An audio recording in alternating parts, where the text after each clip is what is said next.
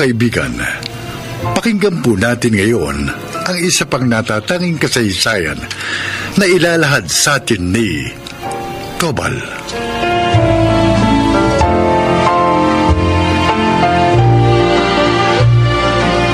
Isang beses lang akong umibig sa isang babae at yun ay si Stella. Unang kita ko pa lang sa kanya, agad nang tumibok ang aking puso at sinabi ko sa aking sarili na siya na ang the one.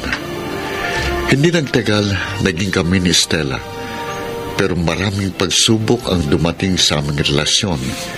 Isa na rito ang pagtutol ng kanyang mga magulang at ito ang aking buhay.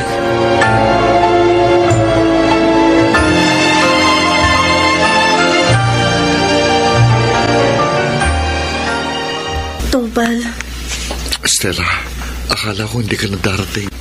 Kaya ako dumating para personal na makipag-break sa'yo. Ano? Eh, huwag ka naman ganyan. Hindi magandang biro yan. Gusto kasi ng mga magulang ko na makipag-break ako sa'yo. Pero bakit?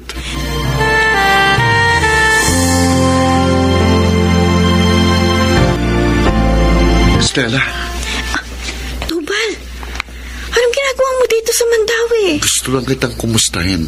Pero huwag kang mag-alala. Hindi kita guguluhin sa pag-aaral mo. Namiss kita. Ako rin. Kaya nga, pumunta ako dito sa Mandawi para magpaalam sa'yo. Ha? Bakit? Saan ka pupunta? Sa Maynila, doon na ako mag-aaral at maghahanap buhay. Ganun ba? Ibig sabihin, mas lalayo pa pala ang distansya nating dalawa? Pero bago sana ako umalis, may gusto kong itanong sa'yo. Ano yun? Tinatanggap mo ba ako bilang asawa mo? O- oo naman. Pero, teka. Pakakasalan mo ba ako? Oo. Gusto ko sana bago tayo magkalayo, magpakasal muna tayo sa West. Ha? Sige na, Stella. Para kahit na magkalayo tayo, wala nang makapaghiwalay sa atin. Sige. Sige. Pumapayag ako makasal sa'yo. Salamat. Salamat. Mm. Basta pangako ko sa'yo. Babalikan din kagad kita oras na makatapos na ako ng aking pag-aaral. At ipinangangako ko, magiging mabuting asawa din ako sa'yo.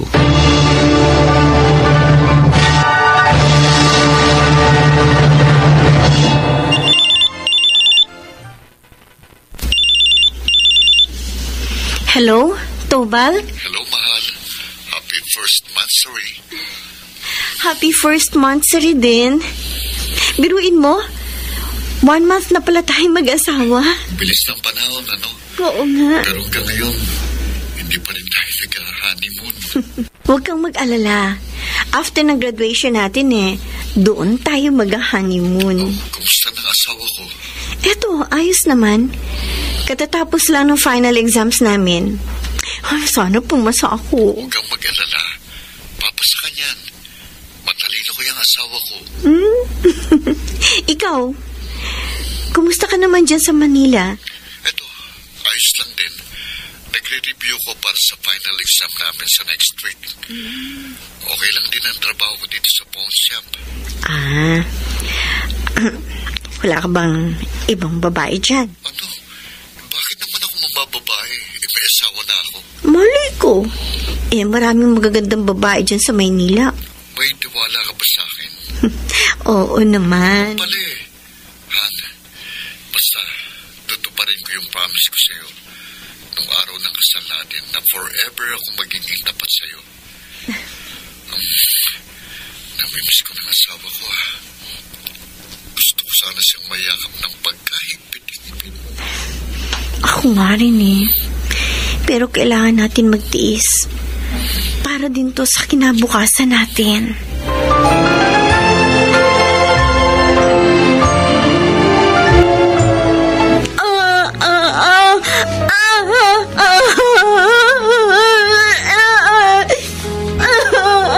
Ay, Ate Stella, huwag mo piliti magsalita kung hindi mo kaya. Nakausap na ni na mama at papa yung mga doktor. Sabi nila, napektuhan daw yung speech ability mo. Hindi ko na raw makakapagsalita. Huwag ka na umiyak. Nasasaktan kami, ate. Ha? Bakit? Sino ba gusto niyo pa makita? Si Kuya Tobal po ba? Ako ganun tama ako. Sige, susubukin ko siyang tawagan para ipaalam sa kanya yung nangyari sa'yo.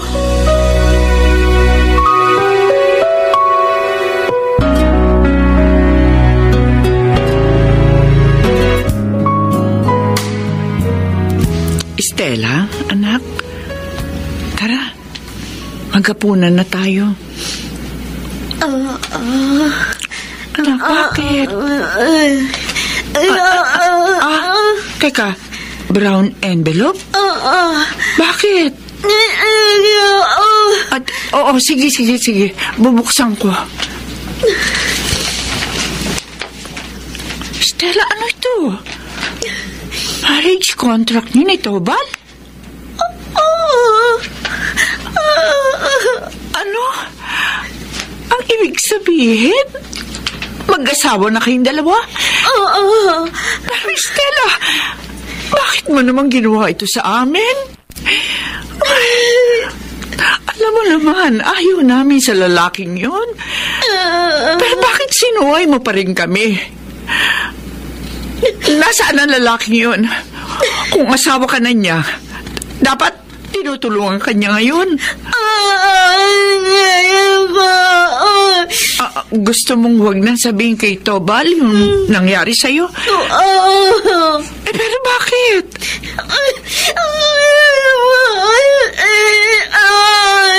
Ah, ayaw mong sabihin sa kanya ang totoo. Ah, kasi natatakot ka na baka iwanan ka niya dahil sa nangyari sa'yo.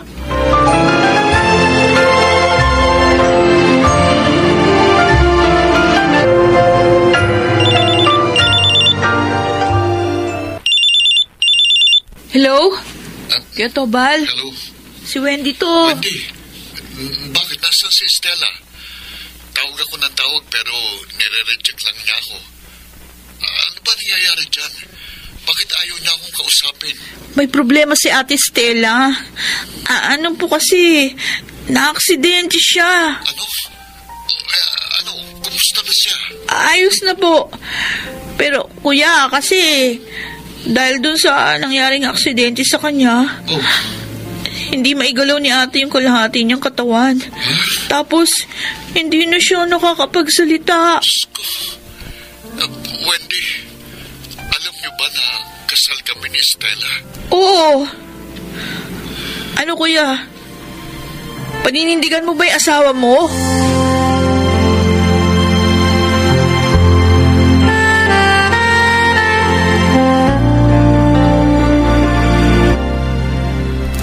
Estela, anak, meron kang bisita. Oh, mahal, mahal. Huwag ka nang umiyak. Stella, sa pagkakataong ito, sa simbahan na kita pakakasalan. Oo,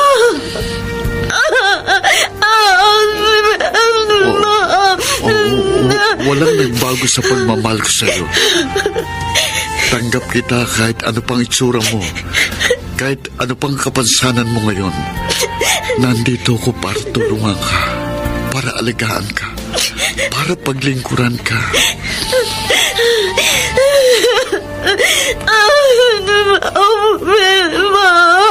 Oo, at kung hindi ka man makapagsalita, akong magiging boses mo.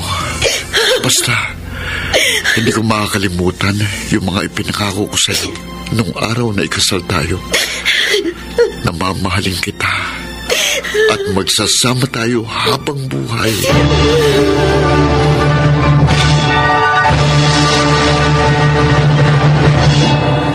Ang pag-ibig ay parang ginto. Kapag totoo, hindi kumukupas. Ganon ang pagmamahal ko sa aking asawang si Estela.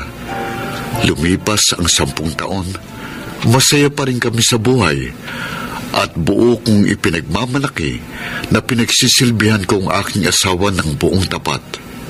Samantala, pagtitinda ng barbecue sa tapat ng aming bahay ang pinagkukunan namin ng kabuhayan sa ngayon. At salamat sa Diyos, nakakaraos kami sa araw-araw. Hindi ko kailangan ng maranyang buhay dahil para sa akin, ang makasama ko ang aking asawa sa araw-araw ay sapat na para sa akin. Ito po si Tobal, mapagmahal na asawa, at ito ang aking buhay. Mga nagsiganap, Chiquit del Carmen Amor, Lionel Benamin, Susan Robles, Angelo Alcantara, Rosana Villegas, at Chiquit del Carmen Amor sa papel na Stella. Naglapat ng angkop na tunog, Jenny Mutia, sa musika ni Buboy Salonga. Supervisyong teknikal, Eric Lucero at Bong Muyar. Creative Consultant Phil Cruz. Katulong sa produksyon Anching Cruz. Sumulat ng ating kasaysayan Krishna Senga. Sa direksyon Salvador M. Royales. Ito ang aking buhay.